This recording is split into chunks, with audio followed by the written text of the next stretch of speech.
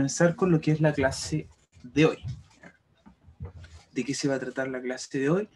La clase de hoy va a ser sobre lo que estamos viendo aquí, de que son los textos normativos e instructivos, ya que en realidad son, podríamos decir que son casi lo mismo, pero vamos a tener esa pequeña diferenciación al mencionarlos de normativos e instructivos. Estos son un nuevo tipo de texto, un nuevo tipo de texto que no habíamos hablado, que no habíamos tratado dentro de todo lo que habíamos trabajado en este año. Y los trabajamos ahora para que no se nos quede en el tintero, porque igual es algo importante, es un texto, un tipo de texto que estamos usando consciente o inconscientemente, lo estamos usando mucho a lo largo de nuestra vida, eh, nosotros los generamos o los estamos usando eh, en nuestra vida diaria. ¿Cuáles son los textos normativos e instructivos? Lo vamos a ver ahora. ¿Y cuál es el objetivo de esta clase? Vamos a tratar de conocer los diferentes tipos de textos, conocerlos, reconocerlos, eh, para poder usarlos de forma correcta. O sea, cuando nosotros queramos usarlo, queramos generar uno, podamos hacerlo bien.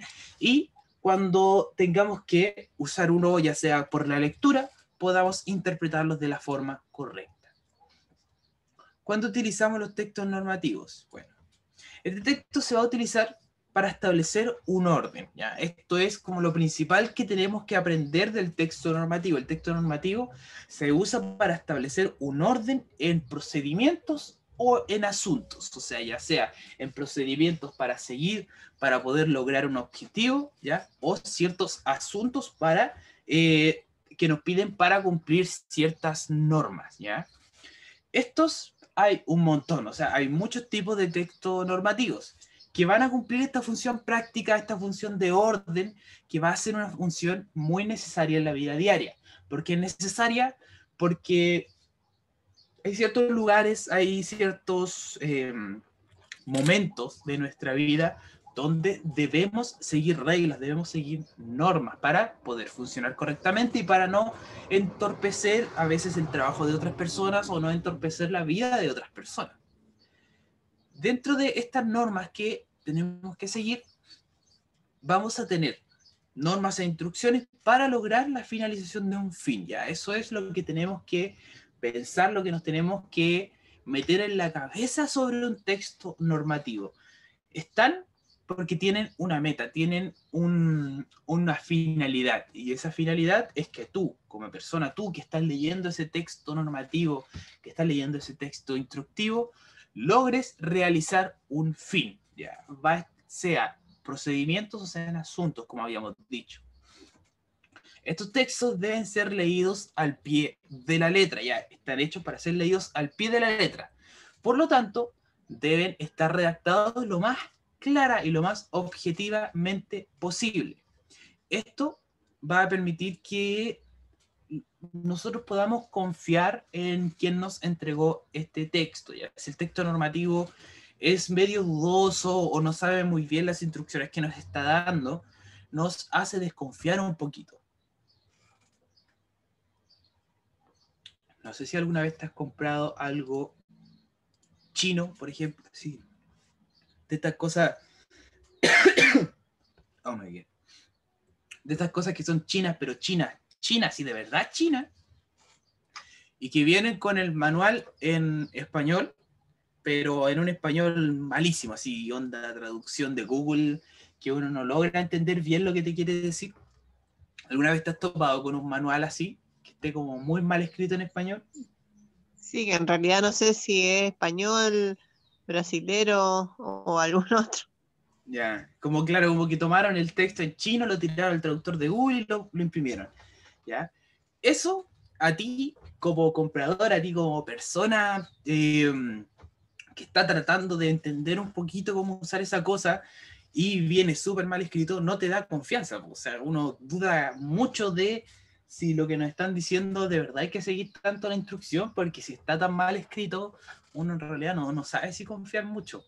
Eso, por eso es importante que el texto normativo esté bien escrito para que la persona confíe y no existan errores después en la interpretación. O sea, si tú interpretas mal las instrucciones, a veces se puede echar a perder algo, porque pueden haber, dentro de las instrucciones pueden haber advertencias también.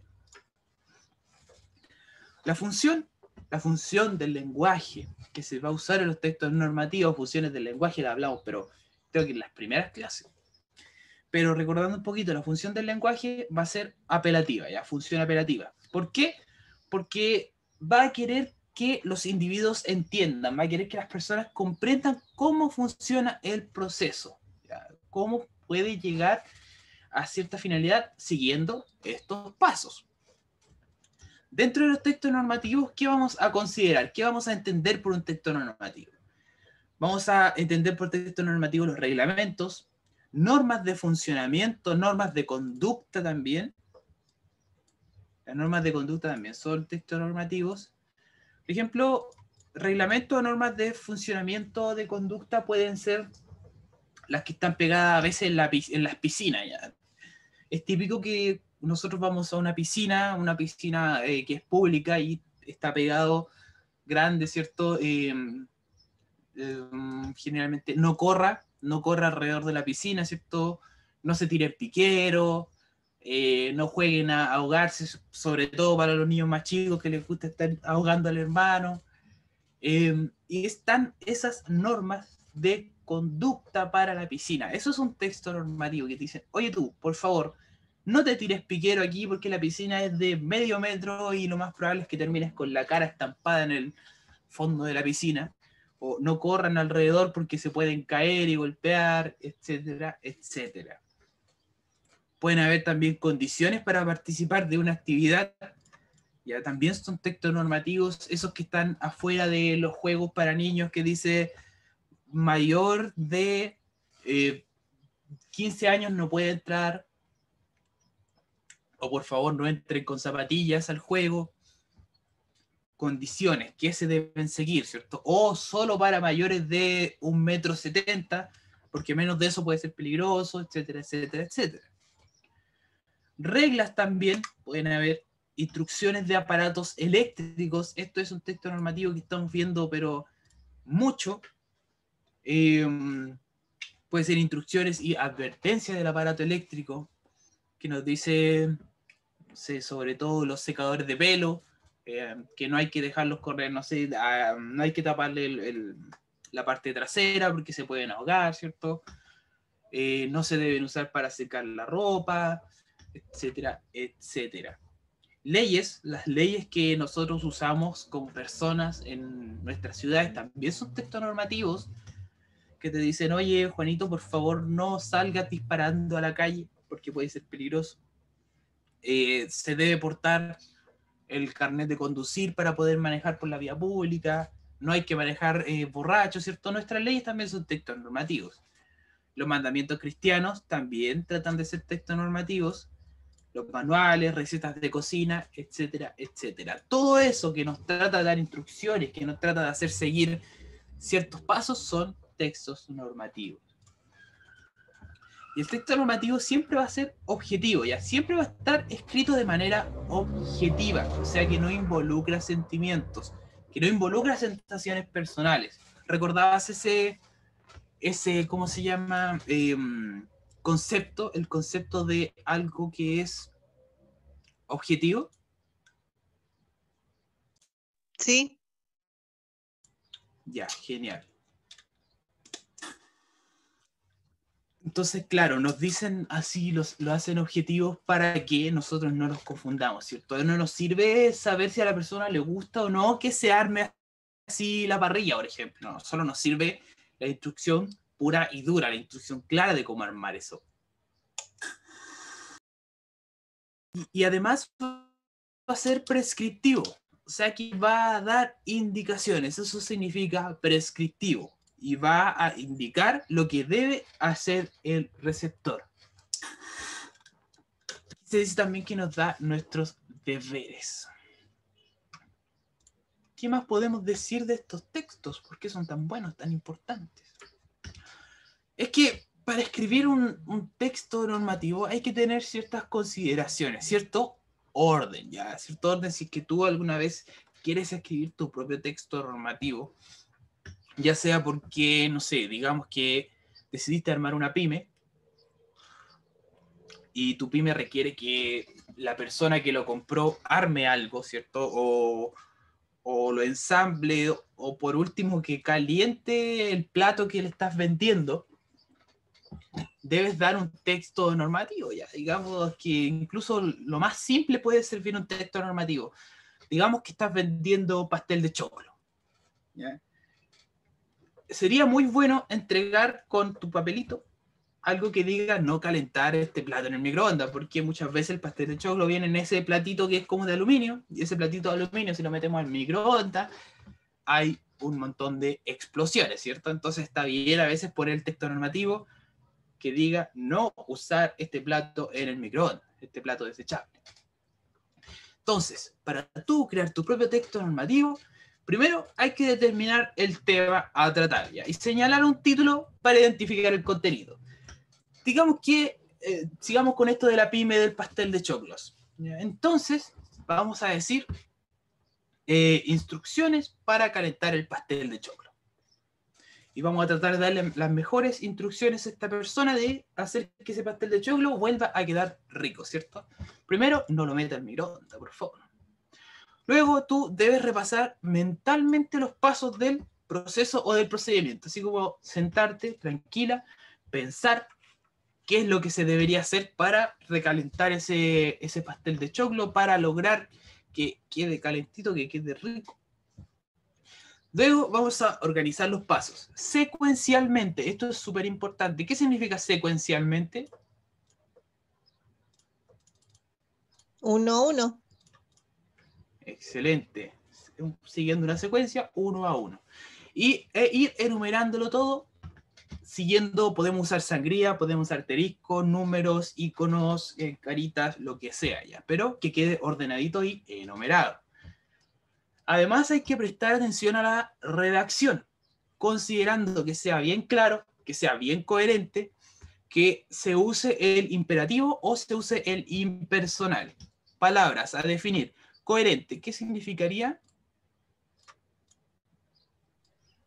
Que sean reales coherente, que sea real, que tenga sentido. ¿ya? Eso es la coherencia, que tenga sentido nuestro texto. Que no sea como esas traducciones chinas que dijimos que no se entiende lo que nos están diciendo, si es español o portugués. Evitar eso, que se entienda que esto va bien clarito. Y hay que usar el imperativo. ¿Qué es el imperativo?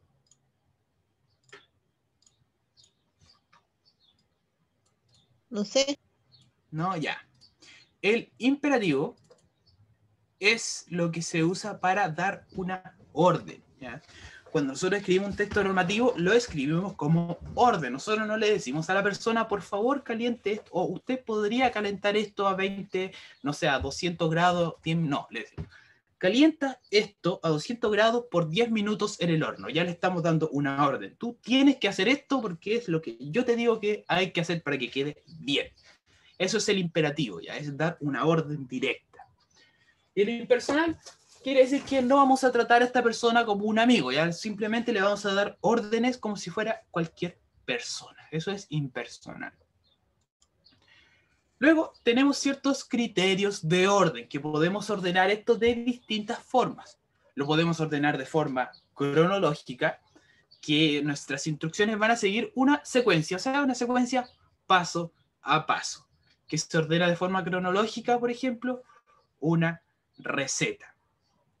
Una receta está ordenada de forma cronológica. ¿Por qué?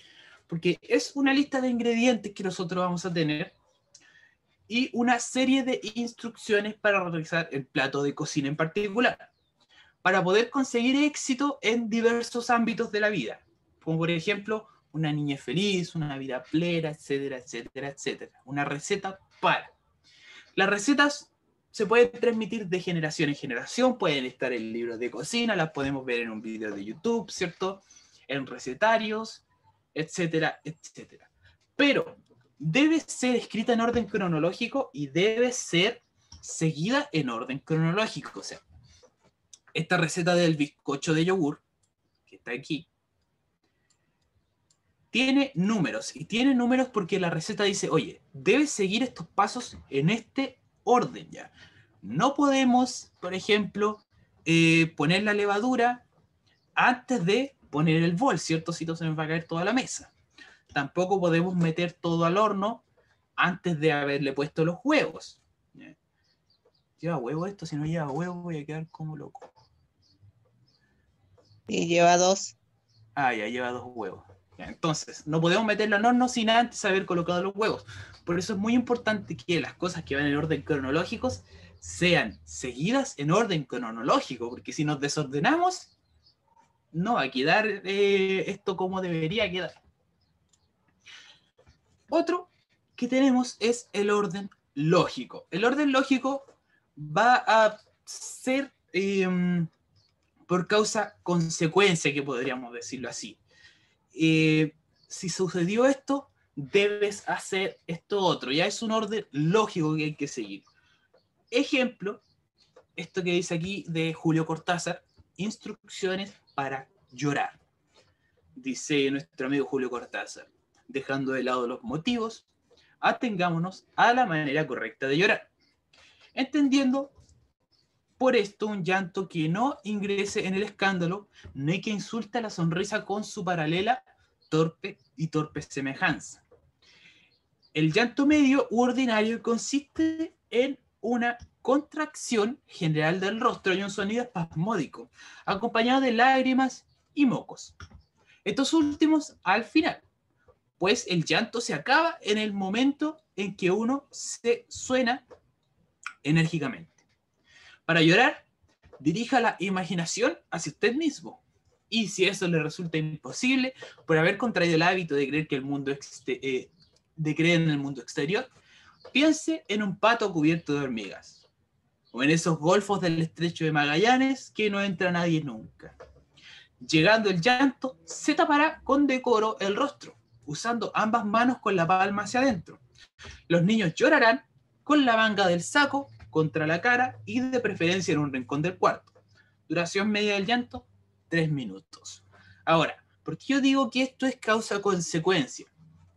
Porque Julio Cortázar nos dice, cuando suceda algo, debe reaccionar de cierta manera. Dice que cuando llegan lágrimas y mocos, nosotros, o sea, se va a acabar el llanto. Porque cuando nosotros nos sonamos, termina el llanto causa consecuencia. Están los mocos, nos sanamos, se acabó el llanto. Eh, nos dice que debemos dirigir la imaginación hacia nosotros mismos. Y si no podemos, o sea, de no poder, debemos hacer otra cosa. Ya eso es causa-consecuencia. Está sucediendo algo, debemos hacer otra cosa.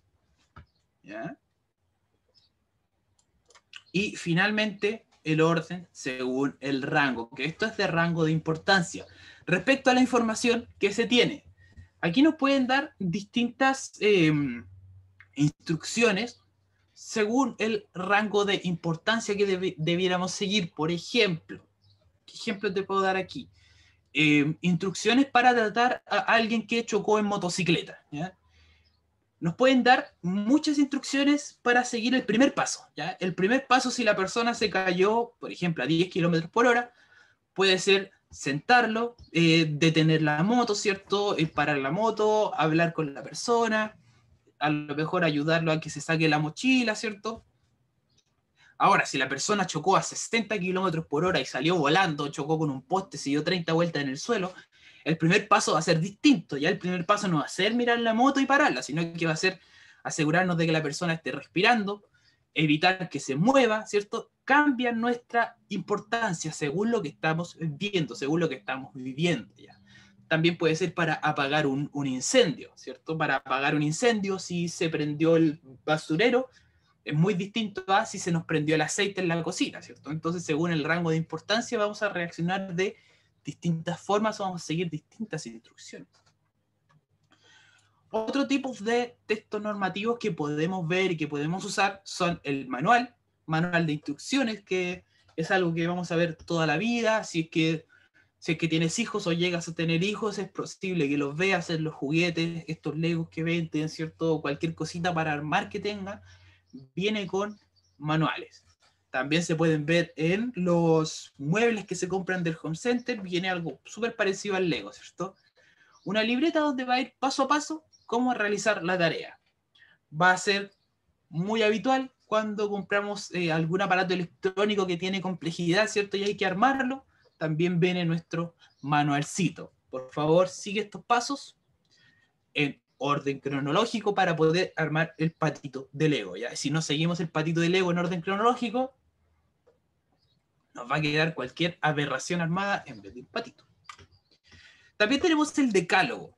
Y el decálogo es un conjunto de 10 normas, ¿ya? Decálogo viene de 10, o sea, son 10 principios o 10 normas que se van a considerar básicos para cualquier actividad. Por ejemplo, para la transparencia, las 10 normas de la coherencia, que está, a veces em, a las empresas le, encarga, le encanta hacer decálogos.